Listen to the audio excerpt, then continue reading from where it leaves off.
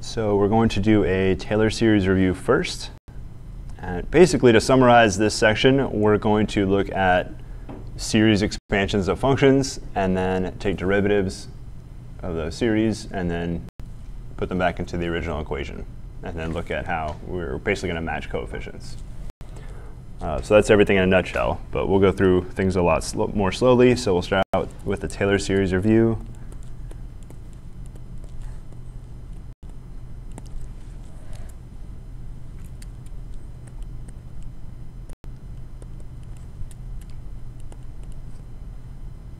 I think your calc book used A for the uh, x value you were centered at. And these start at 0, go to infinity. Of course, AK depends on what function that this is a Taylor series expansion of. So this is AK. It changes a lot.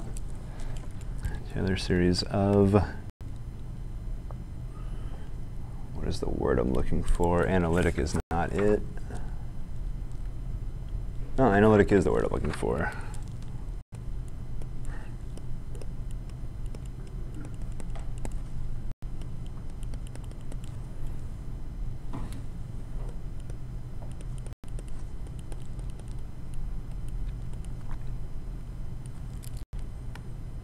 So this is how the Taylor series looks, and a k should be the kth derivative of f evaluated at a divided by k factorial. And that's not in my notes, but I think I remember that correctly. Does that look right? I know Calc 2 was a long time ago. It seems right. It can take a while to compute Taylor series. There is, I think, eight or 10 really popular Taylor series that I recommend you write down. I don't know if they're in your Diffie-Q book. They probably should be. So if you want to scan through chapter 27, there might be a list, or 37, there may be a list of them in there. Uh, but I know for sure they're in your calc book. Uh, now, we need to, well, first of all, what does the word analytic mean? So that's the end of, a of what Taylor series is.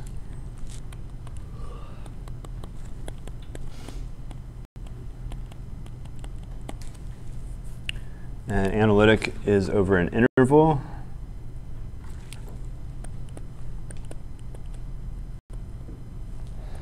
This interval might be open, closed, half open, half closed, so I'm just going to write interval, and it could stand for um, any of those four types. So F is analytic if the Taylor series for f of x converges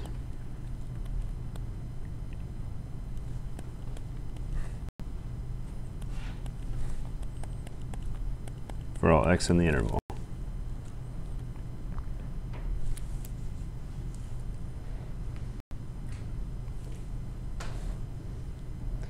So in a nutshell, analytic means it has nice derivatives and you're not including basically any vertical asymptotes. That's pretty much the intuitive definition of analytic. So most functions we work with are going to be analytic. The only exceptions will be anything that has a vertical asymptote. You don't want to include those x values in your interval.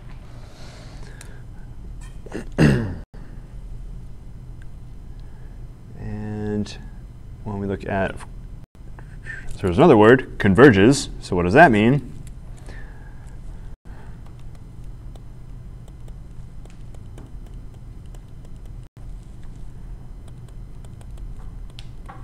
So this converges.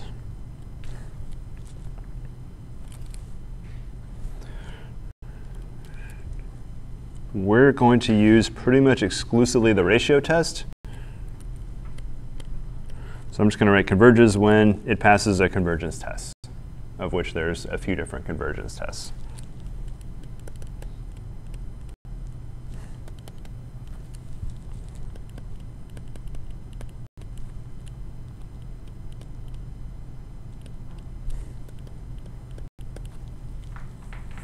So it can really pass any of the convergence tests, but ratio is the one that's going to be most useful. So I'm just going to go ahead and write that in here. Uh, another one sometimes can be useful. The integral test is good, and limit comparison. Those are pretty much the top three. Uh, root is okay if the AK term looks like it has a kth power in it, and then the root, uh, root test will be useful. So not only uh, does it converge, there is one x value it'll always converge for. Oh, and you have to test endpoints. So you have to pass convergence test, find the interval of convergence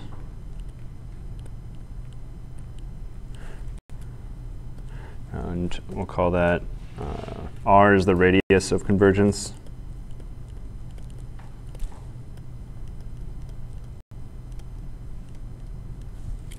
What x value will this guaranteed converge for no matter what? A.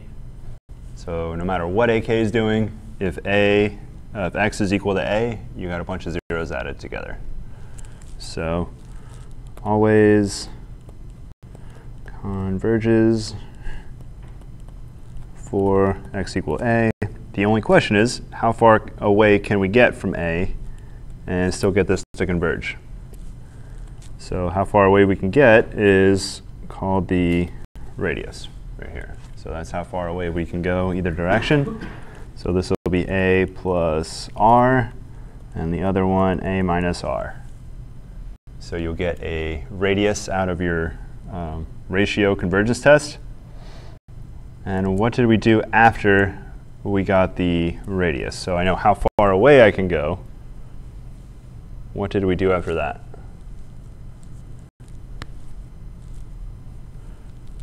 We had to go and check each endpoint individually to decide is a minus r, does it converge at a minus r? And then does it converge at a plus r? A lot of times you had to do alternating series on one of the two and some other test on the other side. Generally, the ratio test will be inconclusive at both endpoints. So the ratio test won't help you find convergence at the endpoints. So the ratio and the root test will be inconclusive at the endpoints.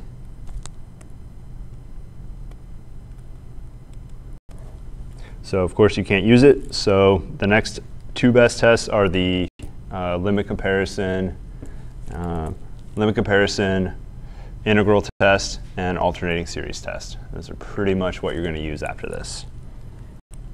So you need to test both endpoints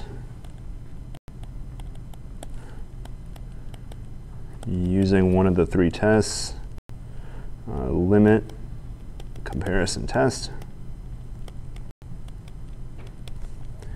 to integral test,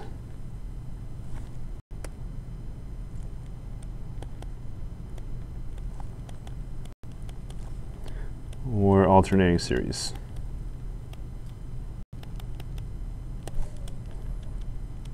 So I don't have time to recap a full week of Calc 2, so I can't go through and talk about each of these tests for 30 or 40 minutes. So I'm just going to refer you back to your book for these, your Calc book. This is all Chapter 10 in your Calc book.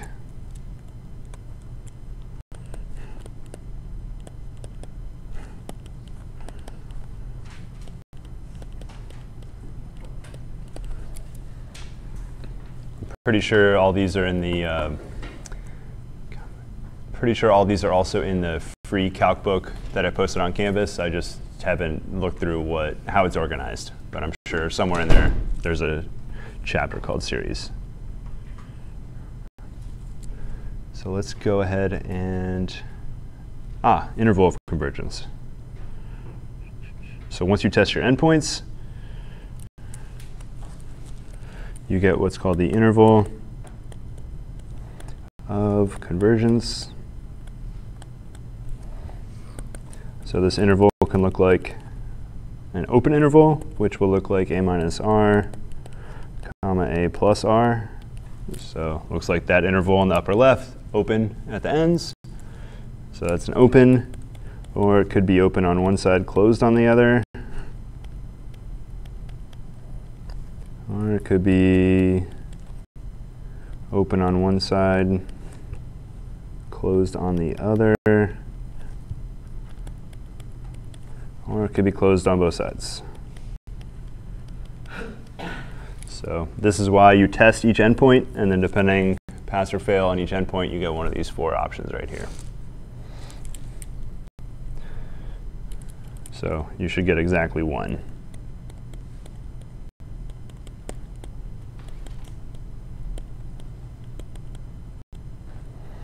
The only time you don't have to check if your R is zero, then there's no, you only can converge at that one value. You don't have to do any more work. But generally, the R is not going to equal zero.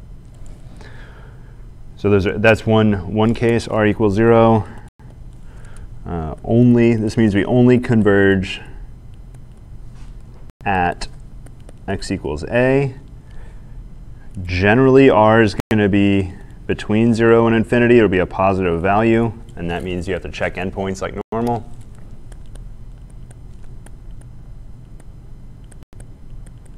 This is uh, the most common.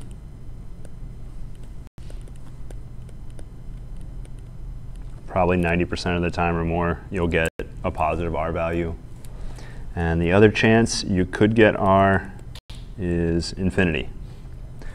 So what in the world does that mean? Let's think about this real number line. You can go over infinitely, infinitely far to the left, infinitely far to the right. That means I got all numbers it's going to converge for. So my radius is infinitely big, it'll converge no matter what x you give me. And I don't have to also check endpoints.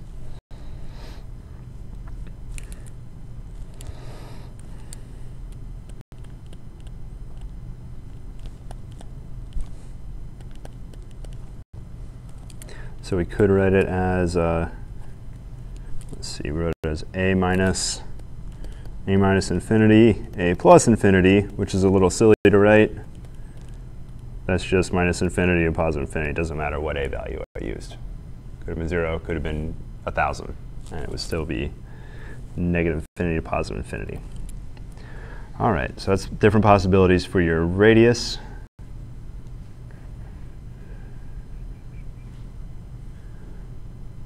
So let's write down the ratio test.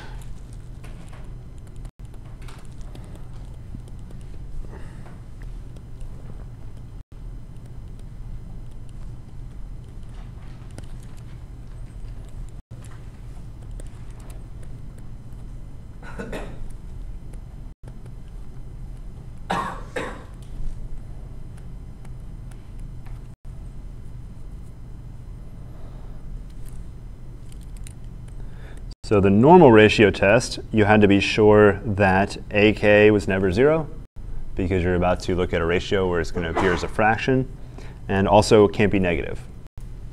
So we're going to do on our ratio test, normally we looked at uh, AK plus 1 over AK, but now you have to include not just AK but the entire term on the inside. So this was before, so now we have AK plus 1 times x minus a to the k power divided by ak, oops, there should be a k plus 1, and that's the k. So it looks like ak plus 1, you also have that times x minus a to the k plus 1 as well. All right, this fraction won't make sense if the denominator is ever 0. So we need to just write down, um, this is when ak better no, not be 0. And of course, x, if x equals a, it converges, so you can make the assumption x is not a. So if x equals a, we know this already converges. So you can assume x is not a. Now the ratio test needs everything to be positive. Of course, x moving a little bit, and let's see, when x is a little bit less than a, then this subtraction will be negative. So it's very easy to get a negative value out of here. So we're going to fix that by putting in absolute values. Uh, I'm going to have to worry about if x is going to make it negative. So when you do the ratio test, you want to line up similar terms. So I see AK plus 1 over AK. So that's one similar term. And this does, I'll leave the absolute value until the end. How do the second set of terms reduce? So we got one more x minus a on the numerator. So it's just x minus a.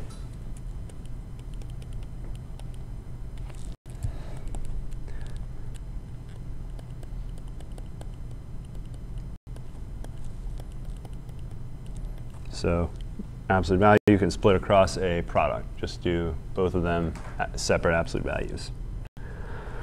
OK, so that's the first computation in the ratio test. And then we let rho equal the limit of this thing.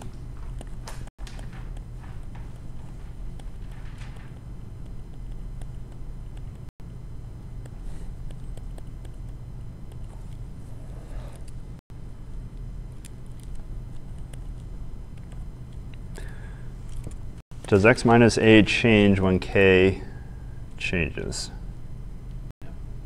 So what I just underlined, that's constant as far as the limit is concerned. It's not constant for x, but it's constant for this limit. So I can bring that out front of the limit. So it'll be rho equals x minus a times lim k approaches infinity.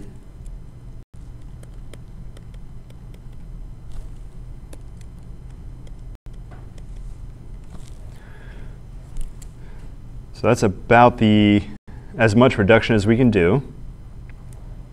So the ratio test looked at the value of rho, or you could just call it a p, and if this rho is less than 1, it converges. So when this rho is less than 1, it converges.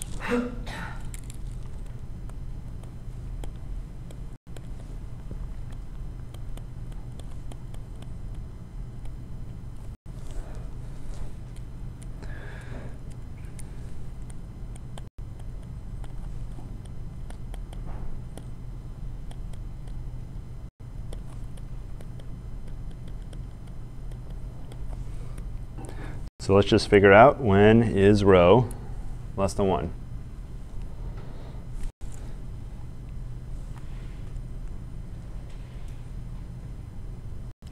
And that's exactly when this will converge. So that's probably enough writing about the ratio test.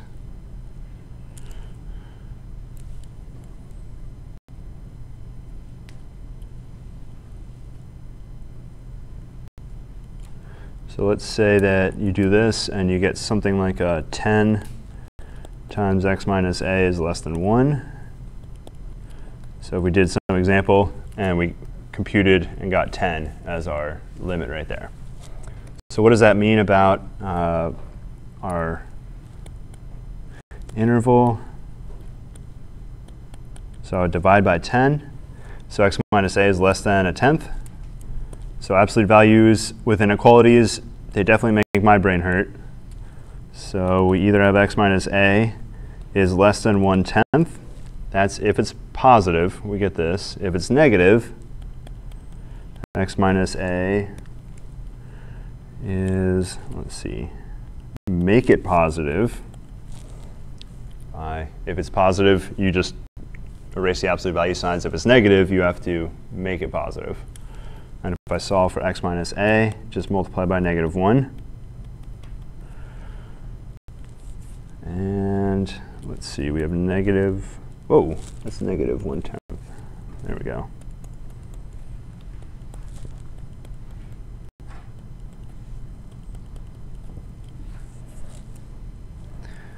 And last step, we'll add a to both sides.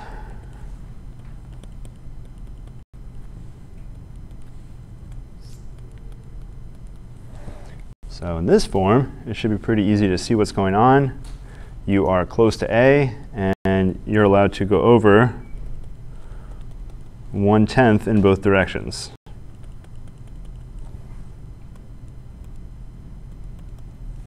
Right there. So there's your interval. So the number you get, basically rho is the reciprocal of your radius. So that number you get is the reciprocal of your radius. So if you get a big rho like 10, that actually means your radius is small one tenth. You still have to go and check those two endpoints individually. So this uh, value you get right here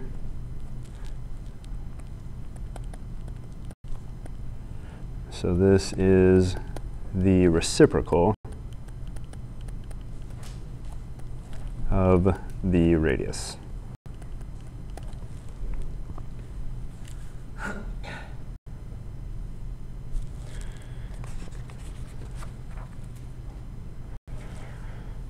So that was the last week of Calc 2 in a nutshell, really quickly. Uh, I did talk about checking the two uh, endpoints individually. Generally, one of the endpoints will alternate signs, and that's a really good time to use alternating series, and the other one generally will not alternate signs, so obviously you can't use alternating series. You'll have to use one of the other tests out there. Uh, instead of doing examples, let's jump right to uh, how do we use series to solve ODEs. So this is 37b. Maybe we should do one example. Yeah, let's do one example out of, let me jump back to Calc 2 notes.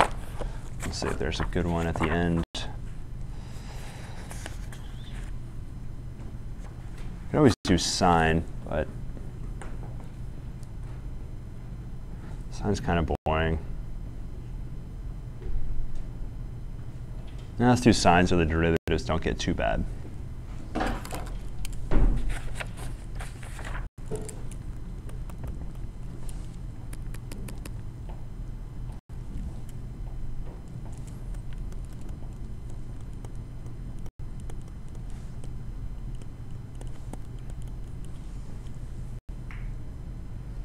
Now, sin x has an in infinite interval of convergence. That's not very exciting.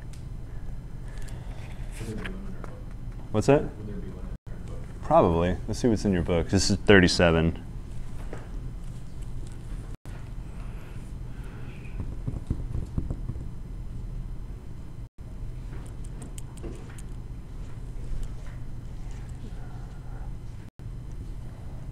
I think the only ones that really don't have infinite intervals are functions with vertical asymptotes, but they have really bad derivatives. That's what I'm worried about is getting an infinitely bad derivative.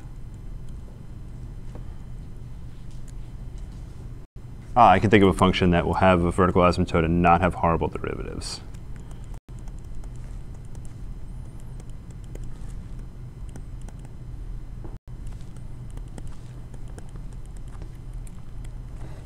There we go.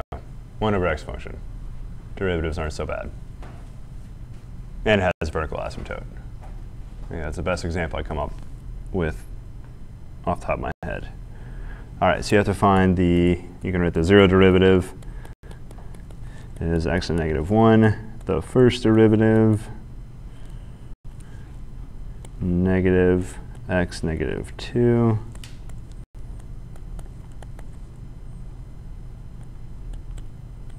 I don't want to ruin your fun, so find enough derivatives until you see the pattern. I'll give you a hint, there's a factorial inside. You may need to do a couple more terms to see that factorial. So there should be a factorial pattern.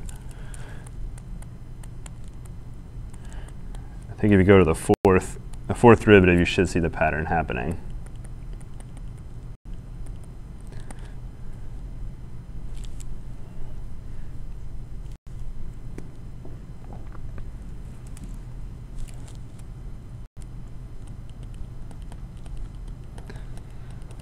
So once you have that nth pattern, the nth derivative pattern written down, then before you actually apply it, you have to find uh, at evaluate at a, which is 2.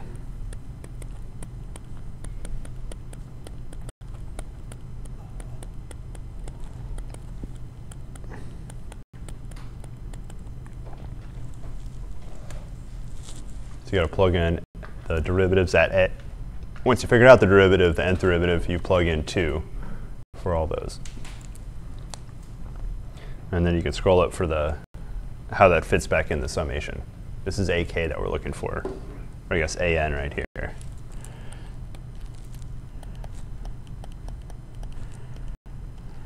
Two divided by N uh, factorial, that should be the AN coefficient.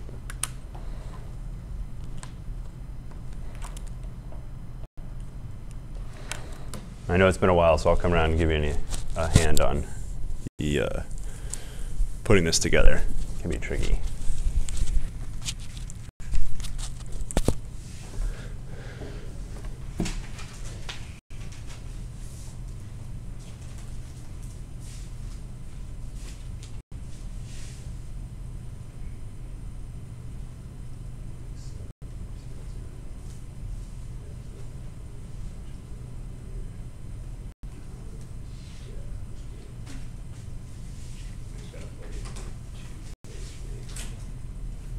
So the pattern shouldn't really be too bad once you get there.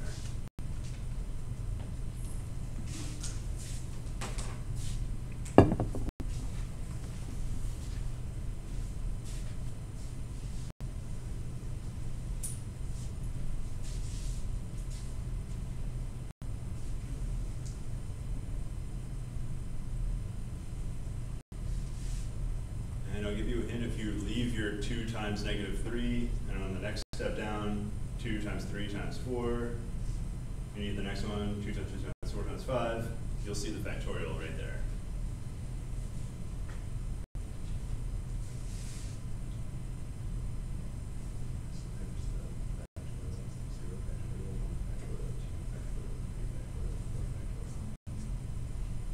If you leave them on both sides together, it'll. If I look at my house, um, bookshelf, it was like, it was not the book I used, but it was the book somebody gave to me for the first class in the introduction to higher uh, level math, writing groups and whatnot. Uh, Did you get that from Amazon yet?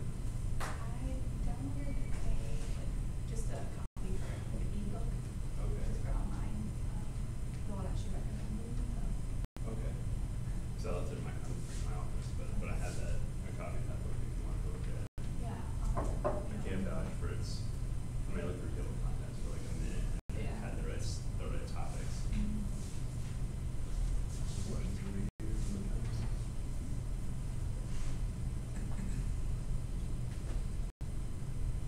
So you have sign alternates too. Yes, you're finding this, this guy.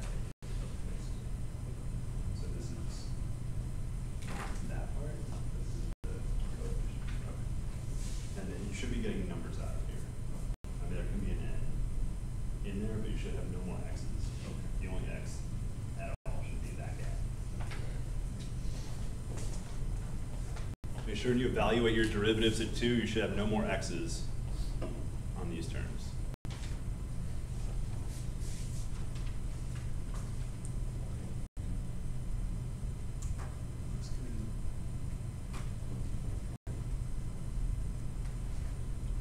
Yeah, there should be that factorial, I think that n should be a factorial. Oh, right.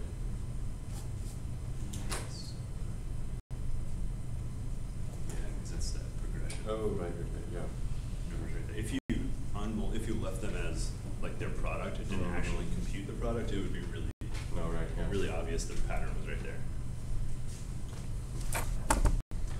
Fortunately, we reduce arithmetic all the time, almost instantly, and thus kind of ignoring those patterns that emerge.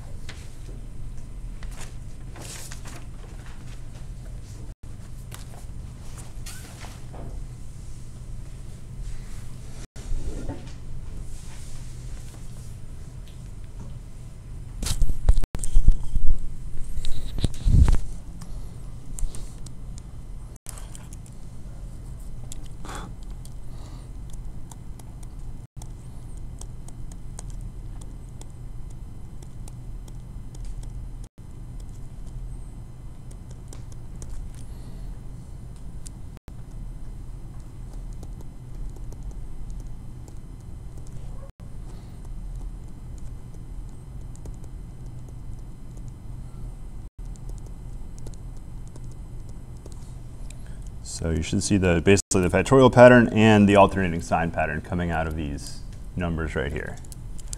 And although at the top, uh, 2 times 3 times 4, 2 times 3 times 2, you could put in a times 1. And up here, 0 factorial is defined to be 1. So there is a 0 factorial up there. All right, once you see this, the rest is pretty straightforward. fn, there's an alternating sign, so it's either negative 1 to the n or negative 1 to the n plus 1. And I like to just guess and check. That's a good uh, strategy to use overall. So this will give me a positive 0 term, a negative 1 term, positive 2 term, negative 3 term. So that alternates on the right, um, on the odds in this case. And now the, let's see, the actual numbers, we got an n factorial happening there, and x to the, be very careful about this power.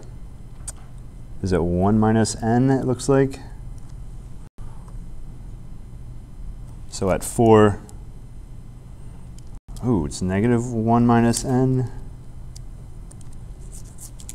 So at 0, we have negative 1. At 1, we have negative 2. At 2, we have negative 3.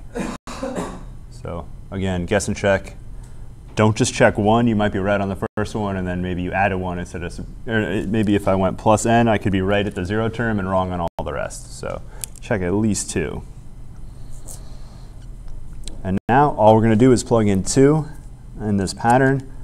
So we got, let's see, positive 1 times 0 factorial.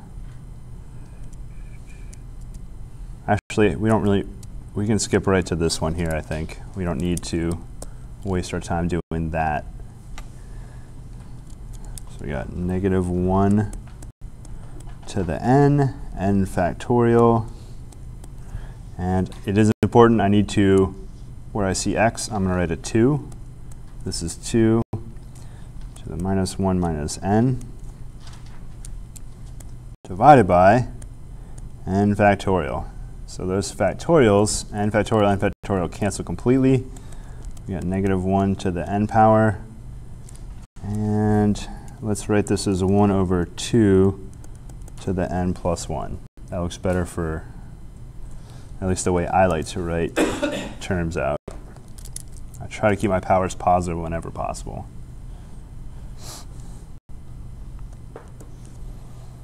So any questions on AN? You should have no X's in here whatsoever. If you got any X's hanging around, they're going to, in the when I put it in the actual uh, written out series, that's where I get my powers of X. But I should have no X's in, in the coefficient part. And if you do, chances are you probably had an X where you should have put in your A value. That's the most common error. Okay, so our Taylor series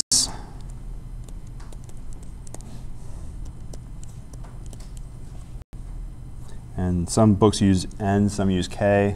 Hopefully I use n in my notes. X minus regular a to the n power, infinity. So I'm writing an an, so it's negative 1 to the nth, 2 to the n plus 1, x minus a is 2 to the n. All right. So as our Taylor series, it's definitely going to converge when x equals 2. The question is how much further out is it going to converge past 2? So before we apply a test, any questions on just the series written down?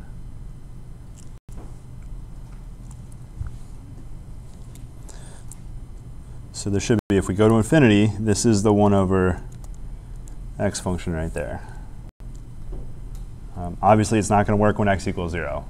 Certainly, the left side doesn't make any sense when x equals 0. So right away, the radius is not going to be infinity. It's going to be no more than 2. Because if I go 2 over, the left side doesn't make any sense. So let's figure out what the actual radius is. We're going to use the ratio. Ratio test. Um, let's use, I'm going to jump right down to this version right here. So I'm just going to look at uh, where x minus a is already brought out front. So I'm not going to mess around with reducing those powers and canceling them out.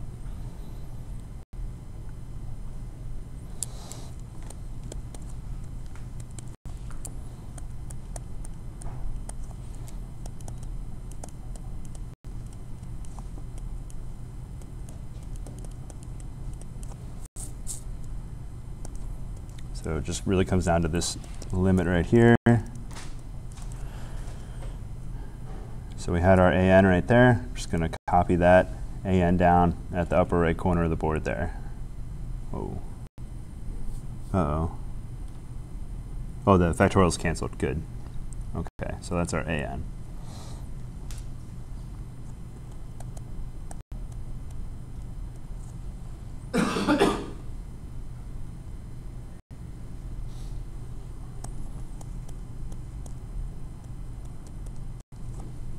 So I'm increasing the n by 1. Now I'm going to multiply. Most of the time, an is going to be a fraction already. So it's better to just start off using the reciprocal instead of writing a fraction of fractions. So the reciprocal of an is negative 1 to the n on the denominator, and the numerator is 2 m plus 1. Okay, so let's arrange terms that are similar. So we're going to have 2n plus 1 over, on the bottom I see 2n plus 2 times negative 1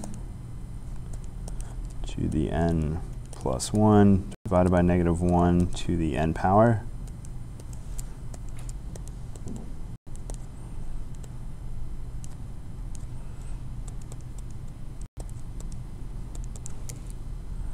All right, negative 1 raised to any power is either going to be positive or negative 1, but we're about to absolute value this. So that absolute value doesn't care about the alternating sign part. This actually reduces to negative 1 but the fact that we're absolute valuing this whole thing, that will actually cancel to just positive 1. So that completely disappears. It's negative 1, but the absolute value gets rid of it. What about our 2's right here? What does that reduce to? That's just 1 half. There's one more 2 on the denominator.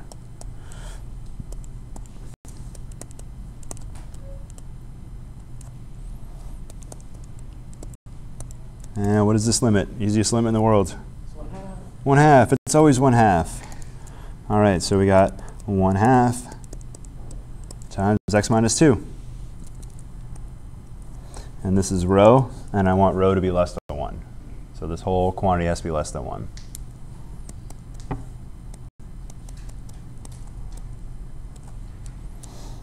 And multiply by 2. So it looks like we have a half, but really we get the reciprocal of that, and we multiply by 2. So there's 2. We can go 2 to the left and 2 to the right. So our radius is 2 and 2. So we saw, at least just looking, because of our function being 1 over x, I know for sure 2 doesn't, uh, 0 is not going to work, but I still need to just be extra sure, so I'll check 0 and I'll check 4 now. So we have for sure from 0 to 4 it works, but the question is, does it work at 0 does it work at 4? We have every reason to believe it's going to fail at 0, but 4 might be a different story.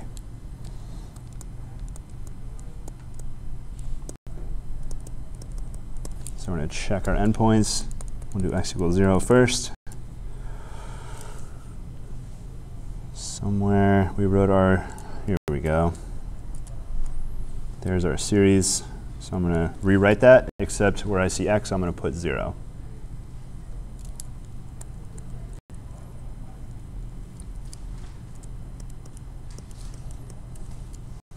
So it's negative 1 to the n over 2 to the n plus 1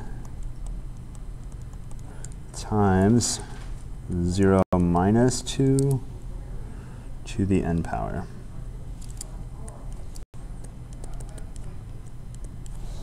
So let's reduce this down. 0 minus 2 is just minus 2.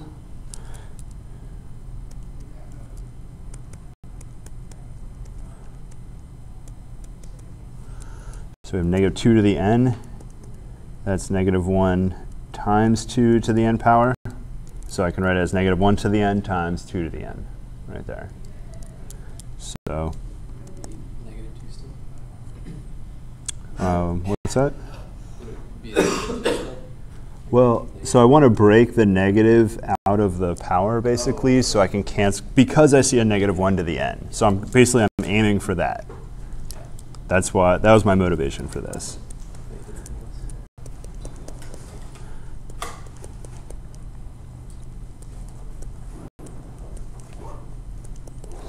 All right, almost there. Negative one to the n, negative one to the n cancel because that's always going to be positive, no matter what the value of n is.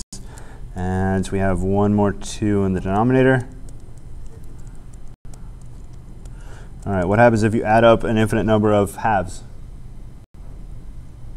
Goes to infinity. goes to infinity. Half as fast as adding up an infinite number of ones, but it still goes up to infinity. So equals infinity. You can say the uh, nth term test for divergence. The terms don't get any smaller than one half. Oh, that's another one I didn't mention. Nth term test for divergence. If your n terms, if your terms don't get small, it has to diverge.